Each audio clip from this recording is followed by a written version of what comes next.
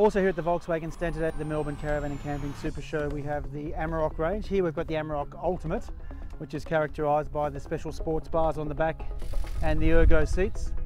We also have here the Amarok Highline fitted out with Vanessa.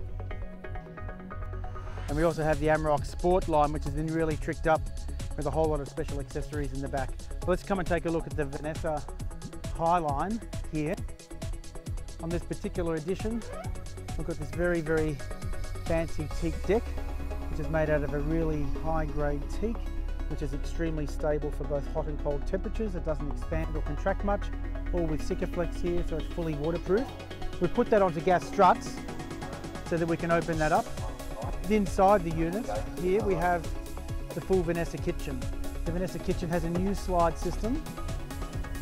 It's never been seen before in Australia, which is operating we can see here with a single hand. So I can just put one hand on it and pull that out. So I get a nice low slide system for a start and can put all sorts of uh, equipment, sports gear, crates, whatever it may be. And this mounts to the this mounts straight into the existing tie down points of the vehicle. I can release that with one hand and operate that straight back in and it will lock automatically, no separate brakes to operate. And for the main unit here, Again, we can operate this with one hand and pull this out. And we have a uh, sink and chopping board available here. Same idea with the shower attachment underneath. So we have our shower, two sink bowls, and we also have here our large drawers, again with a small, small uh, clip there.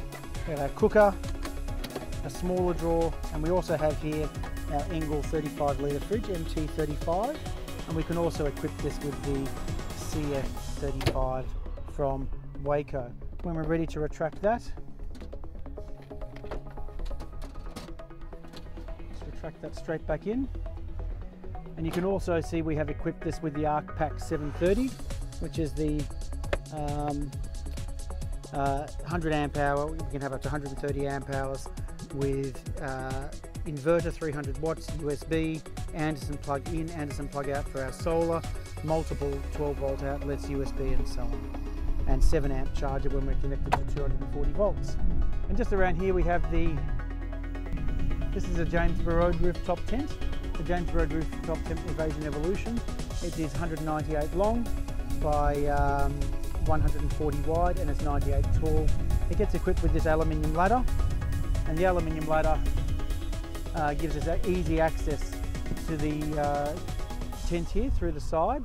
Plenty of ventilation in this tent, also with a solar powered fan on the back. But the other way we can get into the tent is also if we do have our Amarok equipped with the timber deck lid, we can simply climb up onto the timber deck lid like this.